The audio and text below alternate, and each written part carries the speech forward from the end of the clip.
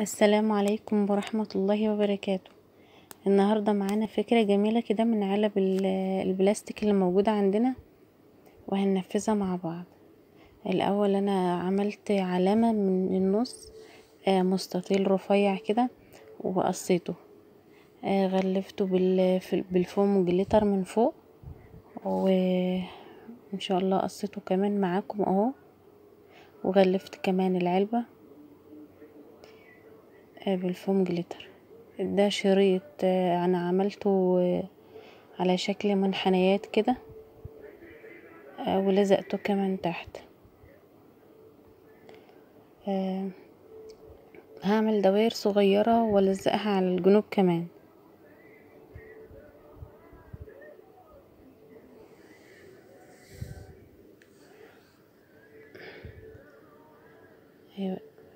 بتمنى تكون الفكرة واضحة معايا. هي دوائر بسيطة كده صغيرة.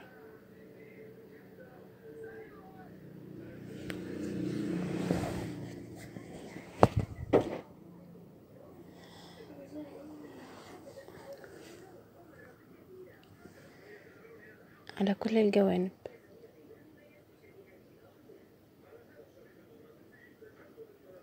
دلوقتي أنا برسم دائرة صغيرة كده وهعمل جواها دايرة. هعمل جواها وردة. بحيث إن أنا اقص وردة صغيرة وهعملها معاكم على ال هعملها بطريقة كده تعمل من تتحنى بيها تعمل منحنيات بيها على ال اهو هنقصها مع بعض على شكل منحنيات. بتمنى إن كانت تبقى الصورة قريبة شوية بس يا رب تكونوا فاهمين. بنعملها كده على المكوى بحيث إن هي تبدأ تعمل الانحناءات بتاعة الوردة.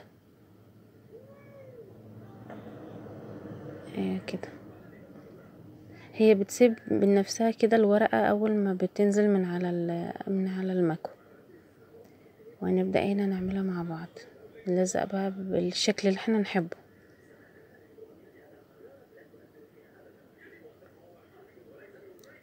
يا رب تكون الفكرة واضحة بالنسبة لكم.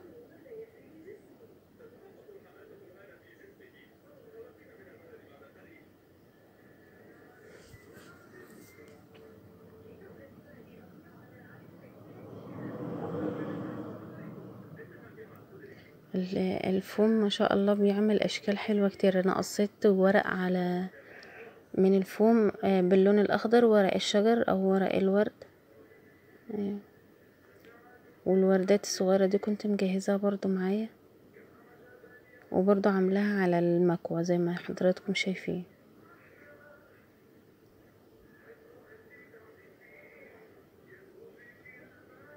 بجد هي الفكرة حلوة وعجبتني بجد. أول ما خلصت ما كنتش أتوقع إن هي تبقى معايا بالشكل ده أو توصل معايا للدرجة دي.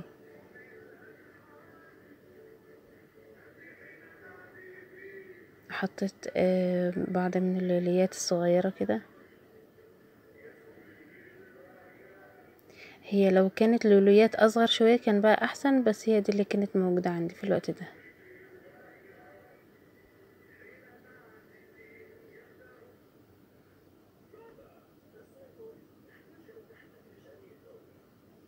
وكده خلاص خلصت الفكرة معايا.